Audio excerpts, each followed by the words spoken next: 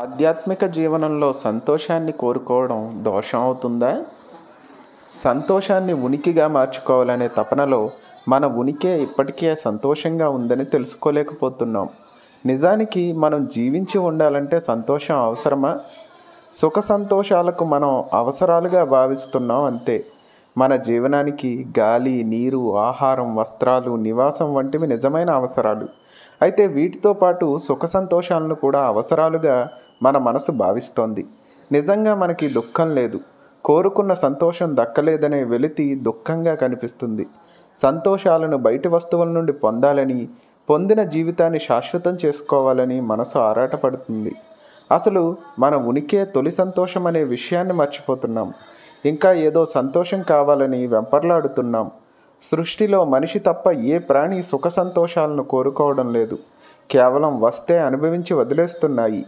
ముందు మనమంటూ ఉంటే కదా సంతోషంగా ఉండాలని కోరుకునేది.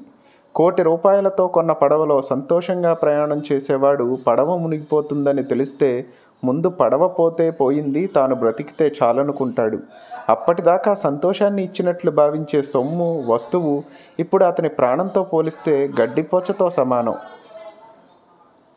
కంటికి కనిపించని దేవుడున్నాడని ఆపదలో రక్షిస్తాడని ప్రార్థిస్తే వింటాడని చిన్నప్పటి నుండి వినడం అనుసరించడం మాయలా ఉంది కదా?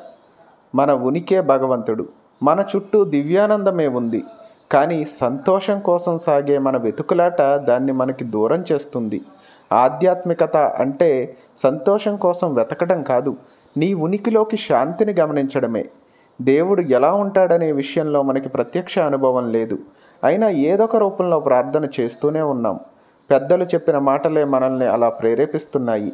మనకి బాల్యం నుండే దేవుడంటే అడిగింది ఇచ్చేవాడని కష్టం వచ్చినప్పుడు రక్షించేవాడని అవసరాలు తీర్చేవాడనే భావన స్థిరపడింది.